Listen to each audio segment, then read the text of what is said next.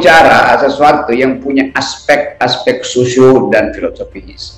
Saya mulai dengan satu problem bahwa sebetulnya apa yang disebut dengan uang itu?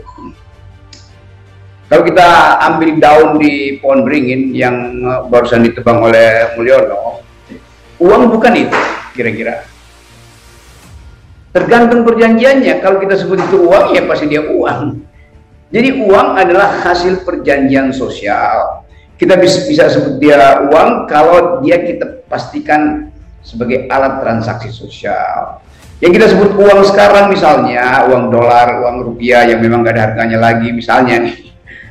Kalau uang itu kita palsukan dan pemalsuan itu sempurna, artinya eh, kan ada disebut dia palsu karena nggak ada garis air atau apa itu saya bisa bikin uang itu sempurna dengan pertolongan chat GPT misalnya. Dan uang itu saya jadikan sebagai alat perdagangan.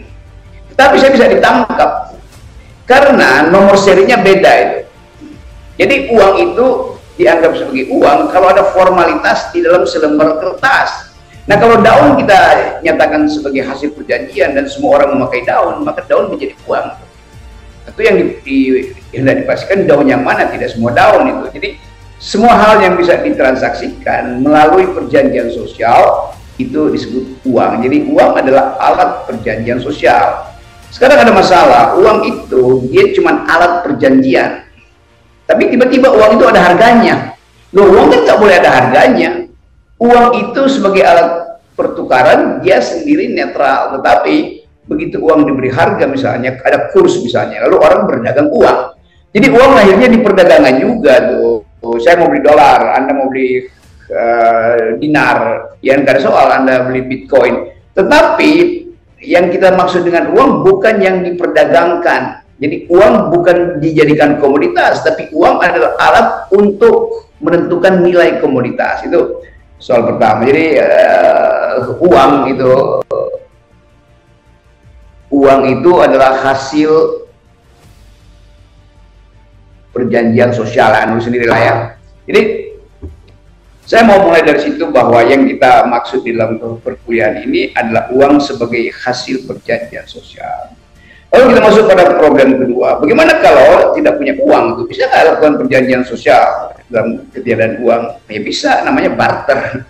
Barter itu artinya perjanjian berbasis pada jenis kemanfaatan di antara dua benda. Jadi tidak diantarai dia. Oke, okay, saya butuh jagung, Anda punya uh, sapi, oke. Okay.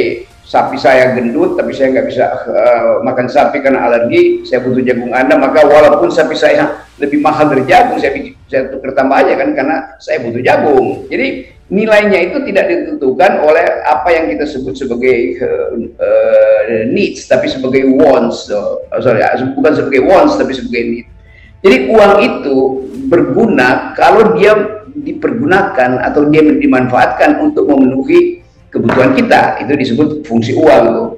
Jadi kalau misalnya ada pendapat bahwa oke okay, tidak penting juga ada uang tuh kan bisa dipakai berdasarkan uh, barter bisa kita bisa balik ke situ ke sistem barter itu dan sangat mungkin itu justru yang lebih memungkinkan terjadinya uh, keselarasan atau keadilan tuh. Jadi sekali lagi upaya untuk menghasilkan diskursus ditentukan oleh kita mau apa. Nah Michael Sandel berupaya untuk memperlihatkan bahwa ada hal-hal yang tidak perlu dibarterkan, juga tidak perlu diperdagangkan. Jadi tidak memerlukan uang, juga tidak memerlukan tukar tambah. Apa misalnya itu karakter manusia itu. Kita kan nggak bisa membeli karakter manusia dan eh, eh, sifat-sifat uh, uh, yang berisi problem kebudayaan misalnya tuh kenikmatan untuk menemukan pasangan hidup. Itu tidak membutuhkan uang sebetulnya walaupun setelah itu perlu duit buat buat belanja-belanja uh, di mall. Tetapi nilainya kan bukan ditentukan oleh apa yang sebetulnya tidak kita tukar tambahkan. Kita tukar tambah batin tidak membutuhkan uang tuh. Jadi sekali lagi ada hal-hal yang memang tidak bisa dibeli. Walaupun orang anggap ya uh, apa namanya tiada uang tiada pacar. Gitu. tetapi itu adalah komoditisasi yang kita sebut sebagai sesuatu yang sifatnya rohani di directifying atau dikomodikan supaya ada nilainya tuh sehingga banyak orang yang melihat oke okay, kalau pacar lu nggak punya uh, BMW misalnya tuh ya udah dia bukan pacar. Tetapi ada yang menganggap bahwa iya lu, lu kasih gua BMW di depan gua itu juga gua nggak peduli karena lu bego gitu. Jadi tukar tambahnya tergantung pada nilai yang dianggap uh, uh, tidak terukur oleh uang, nilai yang tak terukur oleh uang. Itu sebagian pertama. Coba kita lihat sekarang fungsi-fungsi uh, itu. Nanti saya saya uh, susulkan di beberapa teori kalau diperlukan. Tapi kita mau mengeksplor misalnya wilayah-wilayah yang tidak memerlukan fasilitas uang. Coba kita lihat uh, Michael Sandung tadi dengan baik menerangkan bahwa ada hal yang tidak bisa dinilai uh, dengan uang. Misalnya pendidikan. Pendidikan itu sekarang mahal sekali itu. Akibatnya terjadi uh, jual beli ijazah yang sebetulnya orang kan di, di, di masuk dalam pendidikan untuk memperoleh pengetahuan bukan untuk memperoleh ijazah. Tetapi karena pendidikan dikomodifikasi maka nilai dari pendidikan itu tergantung pada ijazah yang kau miliki dari universitas mana itu. Jadi kita lihat bagaimana pengetahuan itu dinilai berdasarkan ijazah yang kau pegang. Yang saya sebut kau ijazah itu uh, hanya menunjukkan anda pernah belajar, bukan menunjukkan anda pernah berpikir. Nah itu yang kemudian masuk di dalam uh, problem kita bahwa kenapa orang mesti jual beli ijazah atau memberi gelar uh, padahal dia tahu bahwa dia tolol kan itu dasarnya begitu kan Demikian juga suara rakyat, money politics, ngapain mesti pakai uang? Bukankah memimpin itu harus pakai otak, bukan pakai uang? Jadi banyak hal yang uh, di dalam filsafat uh, Michael Sandel bisa kita jadikan alasan untuk mengukur integritas seseorang.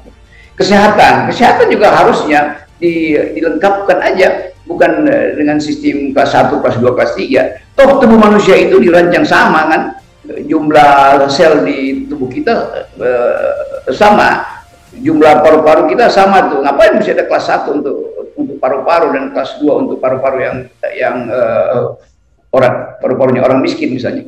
Jadi ada gugatan moral terhadap fungsi uang. Nah kalau kita sebut gugatan moral itu juga melekat pada yang kita sebut local culture local wisdom tuh. Jadi banyak di tempat tertentu orang menganggap ya buat apa? Ada uang. Kalau kita lihat misalnya filantropis-filantropis dunia, dia merasa bahwa pada akhirnya uang itu ya buat apa? Kan semuanya kalau semuanya tersedia ngapain lu ngantong-ngantongin duit? Mending kasih orang kan?